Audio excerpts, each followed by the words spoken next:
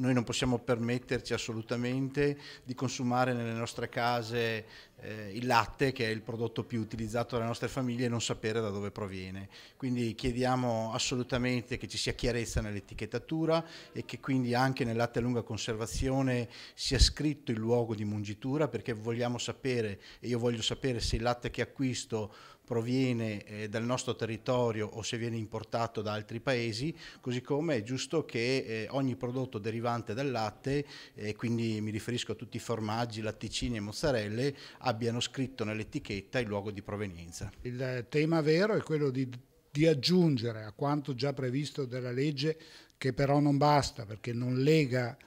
eh, il prodotto fatto in Italia alla, e in Veneto alla produzione de, delle materie prime locali del Veneto italiane, eh,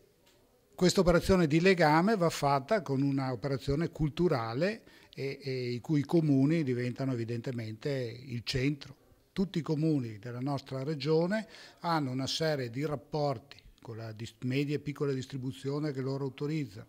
oltre che con la sensibilizzazione generale del cittadino, 40, circa il 40% dei nostri comuni sono sotto i 3.500 abitanti, quindi c'è un rapporto diretto, quindi è necessario trasferire nei consigli comunali e sulle attività amministrative dei comuni i, i, contenuti di questa nostra iniziativa. La giunta regionale deve muoversi sulle autorità competenti perché si verifichi quando è scritto qualcosa di sbagliato. Dobbiamo parlare ai consumatori, dire loro di leggere le etichette, di essere consapevoli che si deve andare a vedere che un nome che potrebbe avere una, un nome di un territorio, beh, magari non è esattamente quello. Per cambiare le abitudini, quindi eh, lavorando sulle giovani generazioni, noi otterremo il grande risultato di rendere consapevole il cittadino consumatore, ma chiederemo al Parlamento e al governo di rendere obbligatoria la scrittura nelle le etichette.